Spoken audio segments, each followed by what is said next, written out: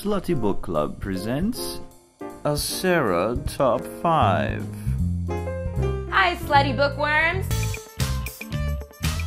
Today is our top five edition of Slutty Book Club, and I'll be talking about my top five books to heal a broken heart.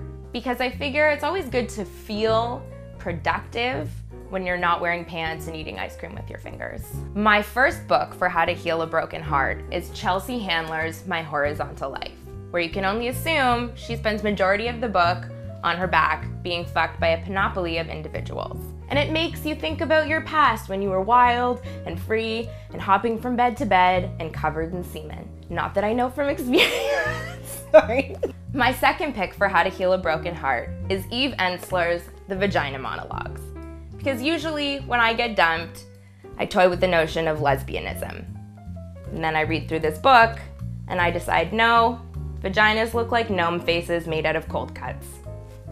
My third pick for how to heal a broken heart is Kevin Kwan's Crazy Rich Asians, which I lent to my sister three fucking months ago, and it's still on her bedside table, and she's just reading the back of peanut butter jars, and that's why we're related. This is a great book because it takes you away from your life and it forces you to go to all different lands with a bunch of different hot people, and all you have to think about is Gucci and dim sum.